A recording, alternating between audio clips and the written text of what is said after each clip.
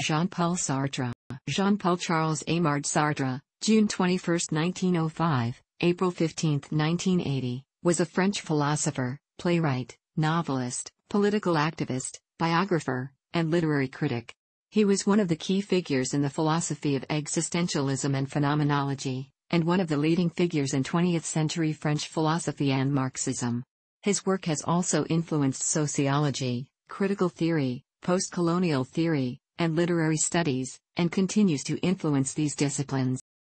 Sartre was also noted for his open relationship with prominent feminist and fellow existentialist philosopher and writer Simone de Beauvoir. Together, Sartre and de Beauvoir challenged the cultural and social assumptions and expectations of their upbringings, which they considered bourgeois, in both lifestyle and thought. The conflict between oppressive, spiritually destructive conformity, mauvaise foi, literally, bad faith, and an authentic way of being became the dominant theme of Sartre's early work, a theme embodied in his principal philosophical work Being and Nothingness, L'Être et Néant, 1943. Sartre's introduction to his philosophy is his work Existentialism and Humanism, L'existentialisme et humanisme, 1946, originally presented as a lecture. He was awarded the 1964 Nobel Prize in Literature despite attempting to refuse it, saying that he always declined official honors and that a writer should not allow himself to be turned into an institution. Jean-Paul Sartre was born on June 21, 1905 in Paris as the only child of Jean-Baptiste Sartre, an officer of the French Navy, and Anne-Marie, Schweitzer.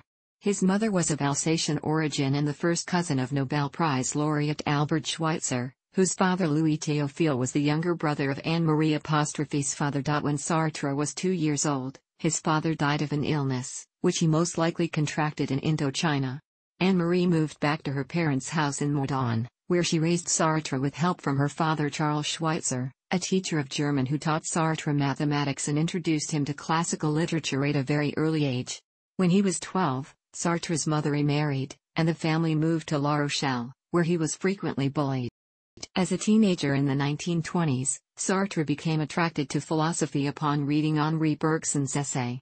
He attended the Cours Hattemer, a private school in Paris. He studied and earned certificates in psychology, history of philosophy, logic, general philosophy, ethics and sociology, and physics, as well as his, roughly equivalent to an MA thesis, in Paris at the École Normale Supérieure an institution of higher education that was the alma mater for several prominent French thinkers and intellectuals.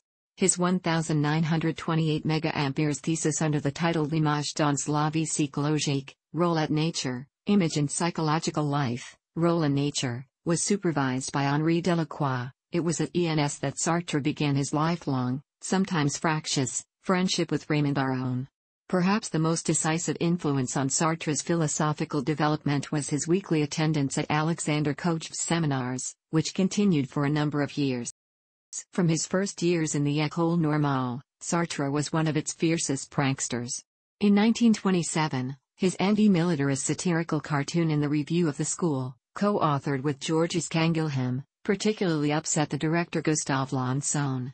In the same year, with his comrades Nizan, Larroutis, Baillou, and Herland, he organized a media prank following Charles Lindbergh's successful New York City-Paris flight. Sartre and company called newspapers and informed them that Lindbergh was going to be awarded an honorary école degree.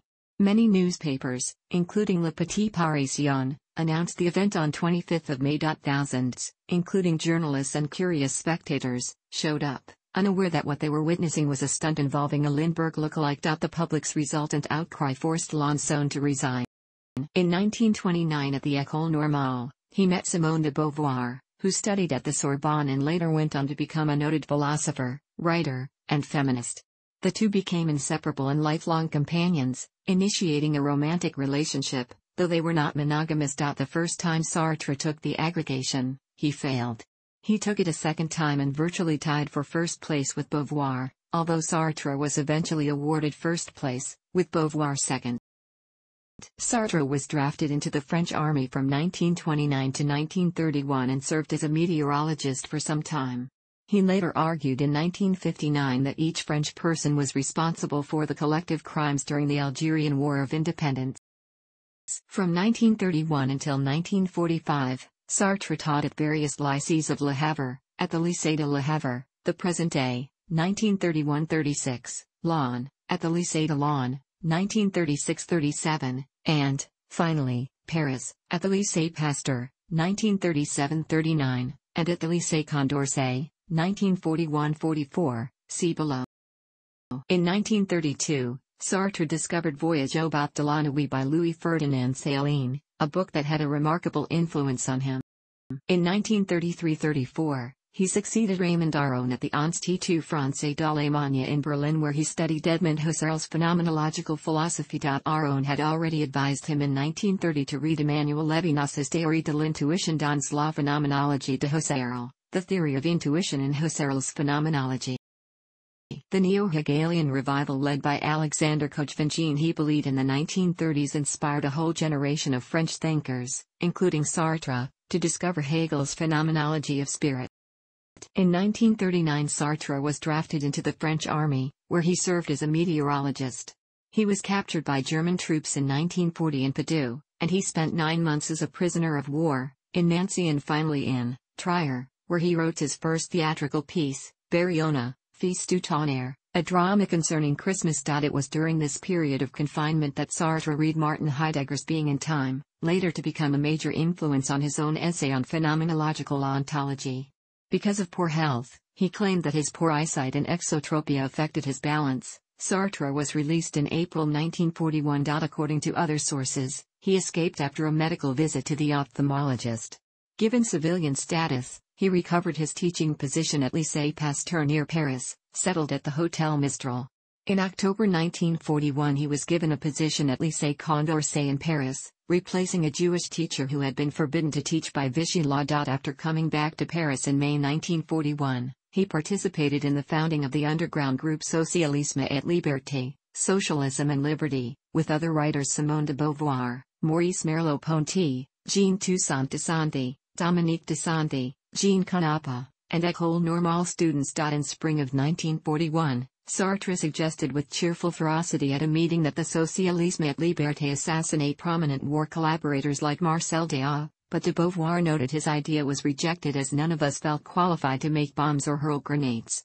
The British historian Ian Ousby observed that the French always shot far more hatred for collaborators than they did for the Germans, noting it was French people like Déat that Sartre wanted to assassinate rather than the military governor of France, General Otto von Stülpnagel and the popular slogan always was death to Laval. Rather than death to Hitler. In August Sartre and de Beauvoir went to the French Riviera seeking the support of André Gide and André Malraux. However, both Gide and Malraux were undecided, and this may have been the cause of Sartre disappointment and discouragement. Socialisme et Liberté soon dissolved and Sartre decided to write instead of being involved in active resistance. He then wrote Being and Nothingness, The Flies, and No Exit, none of which were censored by the Germans, and also contributed to both legal and illegal literary magazines. In his essay Paris Under the Occupation, Sartre wrote about the correct behavior of the Germans had entrapped too many Parisians into complicity with the occupation, accepting what was unnatural as natural, writing. The Germans did not stride, revolver in hand, through the streets. They did not force civilians to make way for them on the pavement. They would offer seats to old ladies on the metro. They showed great fondness for children and would pat them on the cheek. They had been told to behave correctly and being well disciplined, they tried shyly and conscientiously to do so. Some of them even displayed a naive kindness which could find no practical expression. Sartre noted when Wehrmacht soldiers asked Parisians politely in their German accented French for directions, people usually felt embarrassed and ashamed as they tried their best to help out the Wehrmacht which led Sartre to remark we could not be natural. French was a language widely taught in German schools and most Germans could speak at least some French. Sartre himself always found it difficult when a Wehrmacht soldier asked him for directions, usually saying he did not know where it was that the soldier wanted to go, but still felt uncomfortable as the very act of speaking to the Wehrmacht meant he had been complicit in the occupation. Ousby wrote, but, in however humble a fashion, everyone still had to decide how they were going to cope with life in a fragmenting society, so Sartre's worries, about how to react when a German soldier stopped him in the street and asked politely for directions were not as fussily inconsequential as they might sound at first. They were emblematic of how the dilemmas of the occupation presented themselves in daily life. Sartre wrote the very correctness of the Germans caused moral corruption in many people who used the correct behavior of the Germans as an excuse for passivity, and the very act of simply trying to live one's day to day existence without challenging the occupation aided the new order in Europe, which depended upon the passivity of ordinary people to accomplish its goals. Throughout the occupation, it was German policy to plunder France and food shortages were always a major problem as the majority of food from the French countryside went to Germany. Sartre wrote about the languid existence of the Parisians as people waited obsessively for the one weekly arrival of trucks bringing food from the countryside that the Germans allowed, writing about how Paris would grow peaked and yawn with hunger under the empty sky. Cut off from the rest of the world, fed only through the pity or some ulterior motive, the town led a purely abstract and symbolic life. Sartre himself lived on a diet of rabbits sent to him by a friend of de Beauvoir living in Anjou. The rabbits were usually in an advanced state of decay full of maggots, and despite being hungry, Sartre once threw out one rabbit as uneatable, saying it had more maggots in it than meat. Sartre also remarked on conversations at the Café floor between intellectuals had changed, as the fear that one of them might be a mouche, informer, or a writer of the Corbeau, anonymous denunciatory letters meant that no one really said what they meant anymore, imposing self-censorship.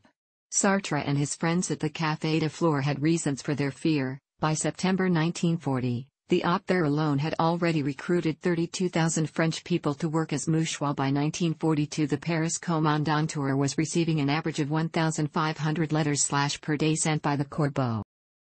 Sartre wrote under the occupation Paris had become a sham, resembling the empty wine bottles displayed in shop windows as all of the wine had been exported to Germany, looking like the old Paris but hollowed out, as what had made Paris special was gone. Paris had almost no cars on the streets during the occupation as Thiel went to Germany while the Germans imposed a nightly curfew, which led Sartre to remark that Paris was peopled by the absent. Sartre also noted that people began to disappear under the occupation writing about how one day you might phone a friend and the phone would ring for a long time in an empty flat. You would go round and ring the doorbell, but no one would answer it. If the concierge forced the door, you would find two chairs standing close together in the hall with the fag ends of German cigarettes on the floor between their legs. If the wife or mother of the man who had vanished had been present at his arrest, she would tell you that he had been taken away by very polite Germans, like those who asked the way in the street. And when she went to ask what had happened to them at the offices in the Avenue Foch or the Rue des Saussayes, she would be politely received and sent away with comforting words. Number 11 Rue des Saussayes was the headquarters of the Gestapo in Paris. Sartre wrote the Feldgrau, field grey, uniforms of the Wehrmacht and the green uniforms of the order police which had seemed so alien in 1940 had become accepted, as people were numbed into accepting what Sartre called a pale, dull green, unobtrusive strain, which the eye almost expected to find among the dark clothes of the civilians.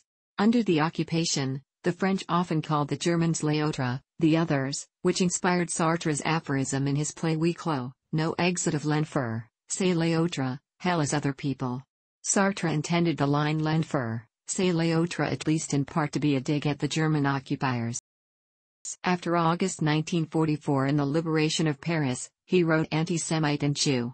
In the book he tries to explain the etiology of hate by analyzing anti-Semitic hate. Sartre was a very active contributor to Combat, a newspaper created during the clandestine period by Albert Camus, a philosopher and author who held similar beliefs. Sartre and de Beauvoir remained friends with Camus until 1951, with the publication of Camus' The Rebel. Later, while Sartre was labeled by some authors as a resistant, the French philosopher and resistant Vladimir Jankelevich criticized Sartre's lack of political commitment during the German occupation, and interpreted his further struggles for liberty as an attempt to redeem himself. According to Camus, Sartre was a writer who resisted, not a resistor who wrote. In 1945, after the war ended, Sartre moved to an apartment on the Rue Bonaparte which was where he was to produce most of his subsequent work, and where he lived until 1962. It was from there that he helped establish a quarterly literary and political review, Les Temps Modernes, Modern Times, in part to popularize his thought. He ceased teaching and devoted his time to writing and political activism. He would draw on his war experiences for his great trilogy of novels, Les Chemins de la Liberté, The Roads to Freedom 1945 to 1949.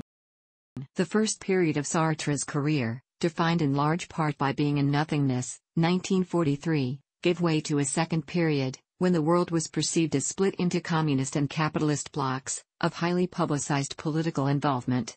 Sartre tended to glorify the resistance after the war as the uncompromising expression of morality in action, and recalled that the resistance were a band of brothers who had enjoyed real freedom in a way that did not exist before nor after the war. Sartre was merciless in attacking anyone who had collaborated or remained passive during the German occupation, for instance, criticizing Camus for signing an appeal to spare the collaborationist writer Robert Brasillach from being executed. His 1948 play Les Mains Sales, Dirty Hands, in particular explored the problem of being a politically engaged intellectual. He embraced Marxism but did not join the Communist Party. For a time in the late 1940s, Sartre described French nationalism as provincial and in a 1949 essay called for a United States of Europe. In an essay published in the June 1949 edition of the journal Politique étrangère, Sartre wrote, If we want French civilization to survive, it must be fitted into the framework of a great European civilization. Why? I have said that civilization is the reflection on a shared situation.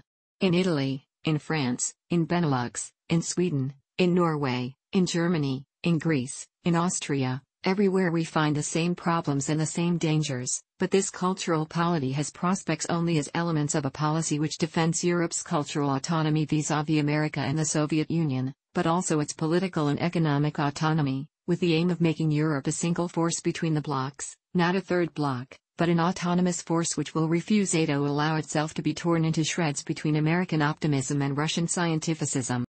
About the Korean War, Sartre wrote, I have no doubt that the South Korean feudalists and the American imperialists had promoted this war. But I do not doubt either that it was begun by the North Koreans.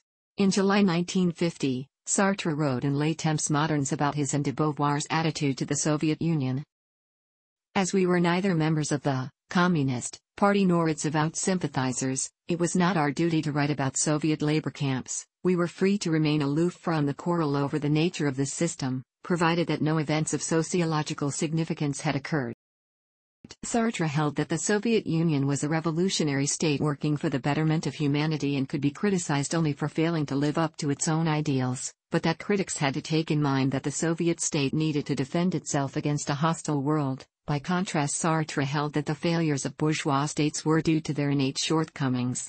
The Swiss journalist François Bondy wrote that, based on a reading of Sartre's numerous essays, speeches and interviews a simply basic pattern never fails to emerge. Social change must be comprehensive and revolutionary and the parties that promote the revolutionary charges may be criticized, but only by those who completely identify themselves with its purpose, its struggle and its road to power, deeming Sartre's position to be existentialist. While a Marxist, Sartre attacked what he saw as abuses of freedom and human rights by the Soviet Union. In 1954, Sartre visited the Soviet Union, which he stated he found a complete freedom of criticism while condemning the United States for sinking into pre-fascism. Sartre wrote about those Soviet writers expelled from the Soviet Writers' Union still had the opportunity of rehabilitating themselves by writing better books. He was one of the first French journalists to expose the existence of the labor camps, and vehemently opposed the invasion of Hungary, Russian anti-Semitism, and the execution of dissidents. About the Hungarian revolt of 1956, Sartre wrote, In spite of everything, the Rákosi regime stood for socialization. Only it did it badly and that is worse than not to do so at all. Sartre came to admire the Polish leader Władysław Gomułka, a man who favored a Polish road to socialism and wanted more independence for Poland, but was loyal to the Soviet Union because of the Oder-Neisse line issue. Sartre's newspaper Les Temps Modernes devoted a number of special issues in 1957 and 1958 to Poland under Gomułka, praising him for his reforms. Bondy wrote of the notable contradiction between Sartre's ultra-Bolshevism as he expressed admiration for the Chinese leader Mao Zedong as the man who lead the oppressed masses of the Third World into revolution while also praising more moderate communist leaders like Gomułka. As an anti-colonialist, Sartre took a prominent role in the struggle against French rule in Algeria, and the use of torture and concentration camps by the French in Algeria. He became an eminent supporter of the FLN in the Algerian War and was one of the signatories of the Manifeste 121. Consequently, Sartre became a domestic target of the paramilitary organization Armée Secrète, OAS, escaping two bomb attacks in the early 60s. He had an Algerian mistress, Arlette Elkaim, who became his adopted daughter in 1965, he opposed U.S. involvement in the Vietnam War and, along with Bertrand Russell and others, organized a tribunal intended to expose U.S. war crimes, which became known as the Russell Tribunal in 1967. His work after Stalin's death, the Critique de la raison dialectique, Critique of Dialectical Reason, appeared in 1960, a second volume appearing posthumously. In the Critique Sartre set out to give Marxism a more vigorous intellectual defense than it had received until then, he ended by concluding that Marx's notion of class as an objective entity was fallacious. Sartre's emphasis on the humanist values in the early works of Marx led to a dispute with a leading leftist intellectual in France in the 1960s, Louis Althusser, who claimed that the ideas of the young Marx were decisively superseded by the scientific system of the later Marx. In the late 1950s, Sartre began to argue that the European working classes were too apolitical to carry out the revolution predicated by Marx, and influenced by Frantz Fanon stated to argue it was the impoverished masses of the Third World, the real damned of the earth, who would carry out the revolution. A major theme of Sartre's political essays in the 1960s was of his disgust with the Americanization of the French working class who would much rather watch American TV shows dubbed into French than agitate for a revolution. Sartre went to Cuba in the 1960s to meet Fidel Castro and spoke with Ernesto Che Guevara. After Guevara's death, Sartre would declare him to be not only an intellectual but also the most complete human being of our age and the era's most perfect man. Sartre would also compliment Guevara by professing that he lived his words, spoke his own actions and his story and the story of the world ran parallel. However he stood against the persecution of gays by Castro's regime, which he compared to Nazi persecution of the Jews, and said, In Cuba there are no Jews, but there are homosexuals. During a collective hunger strike in 1974, Sartre visited Red Army faction leader Andreas Baader in Stammheim prison and criticized the harsh conditions of imprisonment. Towards the end of his life, Sartre became an anarchist. In 1964 Sartre renounced literature in a witty and sardonic account of the first ten years of his life, Les mots, the words. The book is an ironic counterblast to Marcel Proust, whose reputation had unexpectedly eclipsed that of André Gide, who had provided the model of literature engaging for Sartre's generation. Literature, Sartre concluded, function ultimately as a bourgeois substitute for real commitment in the world. In October 1964, Sartre was awarded the Nobel Prize in Literature but he declined it. He was the first Nobel laureate to voluntarily decline the prize, and remains one of only two laureates to do so. According to Lars Gyllensten, in the book Minnen, Bara Minnen, Memories, Only Memories, published in 2000, Sartre himself or someone close to him got in touch with the Swedish Academy in 1975 with a request for the prize money, but was refused. In 1945, he had refused the Legion d'honneur. The Nobel Prize was announced on October 22, 1964. On 14 October, Sartre had written a letter to the Nobel Institute, asking to be removed from the list of nominees, and warning that he would not accept the prize if awarded, but the letter went unread. On 23 October, Le Figaro published a statement by Sartre explaining his refusal. He said he did not wish to be transformed by such an award, and did not want to take sides in an East versus West cultural struggle by accepting an award from a prominent Western cultural institution. Nevertheless, he was that year's prize winner. After being awarded the prize, he tried to escape the media by hiding in the house of Simone's sister Hélène de Beauvoir in Goxwiller, Alsace. Though his name was then a household word, as was existentialism during the tumultuous 1960s, Sartre remained a simple man with few possessions, actively committed to causes until the end of his life, such as the May 1968 strikes in Paris during the summer of 1968 during which he was arrested for civil disobedience. President Charles de Gaulle intervened and pardoned him, commenting that you don't arrest Voltaire.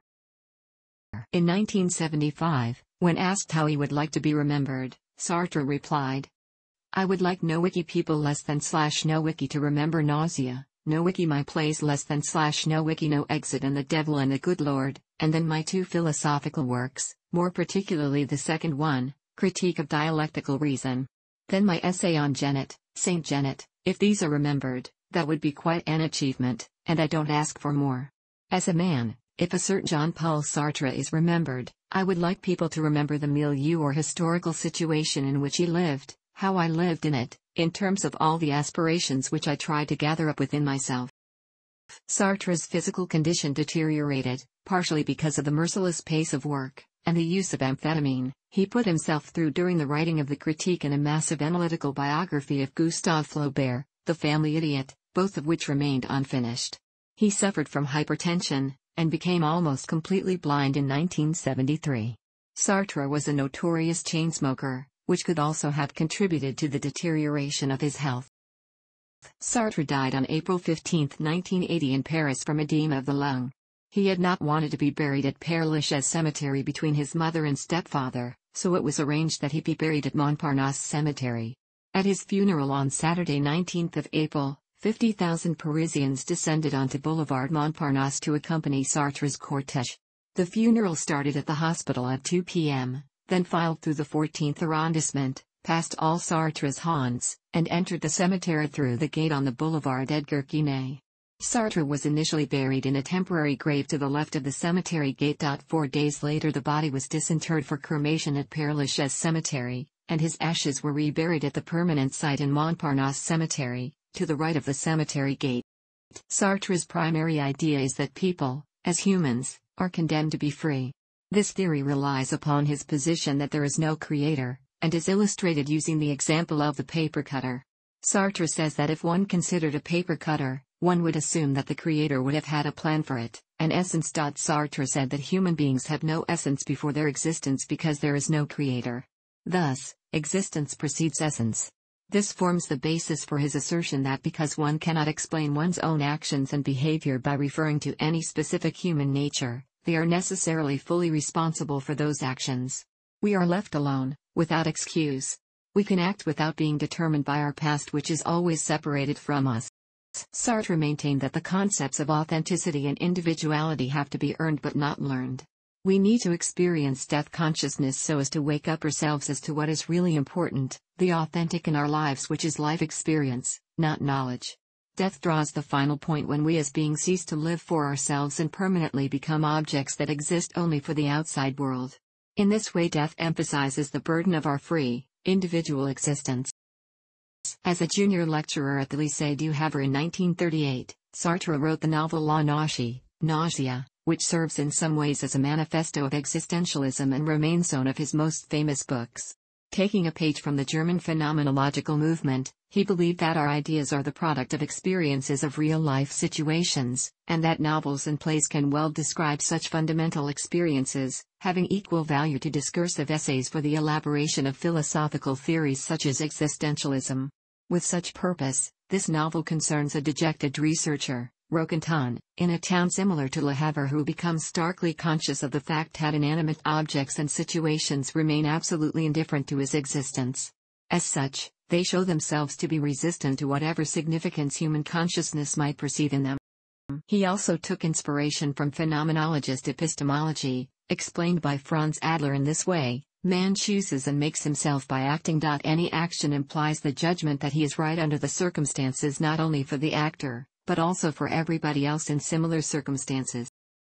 This indifference of things in themselves, closely linked with the later notion of being in itself and his being and nothingness, has the effect of highlighting all the more the freedom Roquentin has to perceive and act in the world. Everywhere he looks, he finds situations imbued with meanings which bear the stamp of his existence. Hence, the nausea referred to in the title of the book, all that he encounters in his everyday life is suffused with a pervasive, even horrible, taste, specifically, his freedom. The book takes the term from Friedrich Nietzsche's Thus Spoke Zarathustra, where it is used in the context of the often nauseating quality of existence. No matter how much Roquentin longs for something else or something different, he cannot get away from this harrowing evidence of his engagement with the world. The novel also acts as a terrifying realization of some of Immanuel Kant's fundamental ideas about freedom. Sartre uses the idea of the autonomy of the will, that morality is derived from our ability to choose in reality, the ability to choose being derived from human freedom, embodied in the famous saying condemned to be free, is a way to show the world's indifference to the individual. The freedom that Kant exposed is here a strong burden, for the freedom to act towards objects is ultimately useless, and the practical application of Kant's ideas proves to be bitterly rejected. Also important is Sartre's analysis of psychological concepts, including his suggestion that consciousness exists as something other than itself, and that the conscious awareness of things is not limited to their knowledge, for Sartre intentionally applies to the emotions as well as to cognitions, to desires as well as to perceptions. When an external object is perceived, consciousness is also conscious of itself, even if consciousness is not its own object, it is a non-positional consciousness of itself. While the broad focus of Sartre's life revolved around the notion of human freedom, he began a sustained intellectual participation in more public matters towards the end of the Second World War, around 1944-45. Before World War II, he was content with the role of an apolitical liberal intellectual, now teaching at Lycée Laon. Sartre made his headquarters the Dome Café at the crossing of Montparnasse and Raspail boulevards. He attended plays, read novels, and dined no wiki with less than slash no wiki women. He wrote. And he was published. Sartre and his lifelong companion, de Beauvoir, existed, in her words, where the world about us was a mere backdrop against which our private lives were played out. Sartre portrayed his own pre-war situation in the character Mathieu, chief protagonist in The Age of Reason, which was completed during Sartre's first year as a soldier in the Second World War. By forging Mathieu as an absolute rationalist, analyzing every situation, and functioning entirely on reason, he removed any strands of authentic content from his character and as a result, Mathieu could recognize no allegiance except to himself, though he realized that without responsibility for my own existence, it would seem utterly absurd to go on existing. Mathieu's commitment was only to himself, never to the outside world. Matthew was restrained from action each time because he had no reasons for acting. Sartre then, for these reasons, was not compelled to participate in the Spanish Civil War, and it took the invasion of his own country to motivate him into action and to provide a crystallization of these ideas. It was the war that gave him a purpose beyond himself, and the atrocities of the war can be seen as the turning point in his public stance.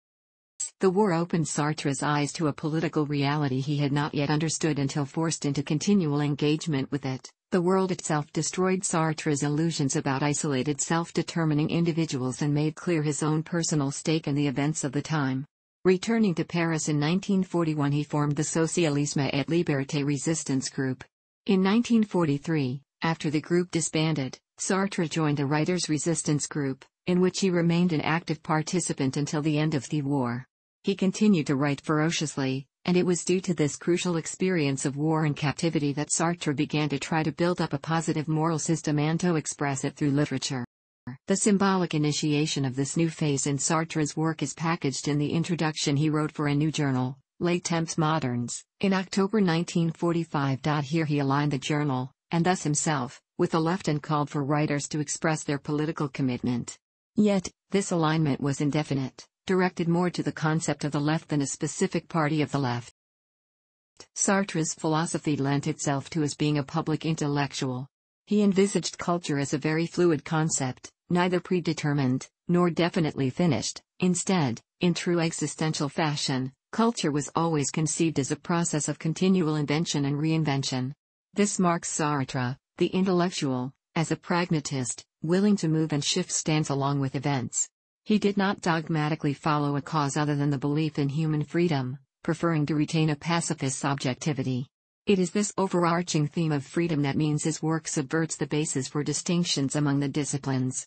Therefore, he was able to hold knowledge across a vast array of subjects the international world order, the political and economic organization of contemporary society, especially France, the institutional and legal frameworks that regulate the lives of ordinary citizens, the educational system, the media networks that control and disseminate information. Sartre systematically refused to keep quiet about what he saw as inequalities and injustices in the world. Sartre always sympathized with the left, and supported the French Communist Party, PCF, until the 1956 Soviet invasion of Hungary. Following the liberation, the PCF were infuriated by Sartre's philosophy, which appeared to lure young French men and women away from the ideology of communism and into Sartre's own existentialism. From 1956 onward, Sartre rejected the claims of the PCF to represent the French working classes, objecting to its authoritarian tendencies. In the late 1960s, Sartre supported the Maoists, a movement that rejected the authority of established communist parties. However, despite aligning with the Maoists, Sartre said after the May events, if one rereads all my books, one will realize that I have not changed profoundly, and that I have always remained an anarchist. He would later explicitly allow himself to be called an anarchist.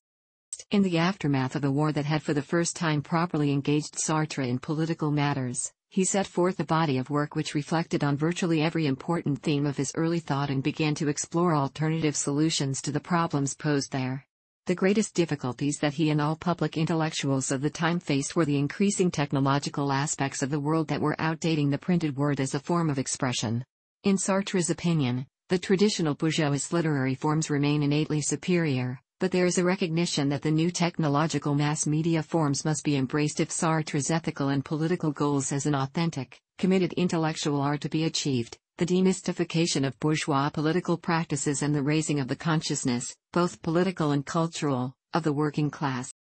The struggle for Sartre was against the monopolizing moguls who were beginning to take over the media and destroy the role of the intellectual. His attempts to reach a public were mediated by these powers, and it was often these powers he had to campaign against.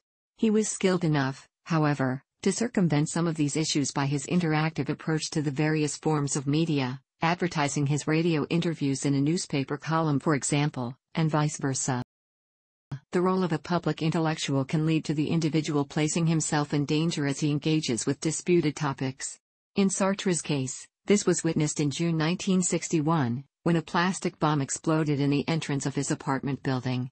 His public support of Algerian self-determination at the time had led Sartre to become a target of the campaign of terror that mounted as the colonists' position deteriorated.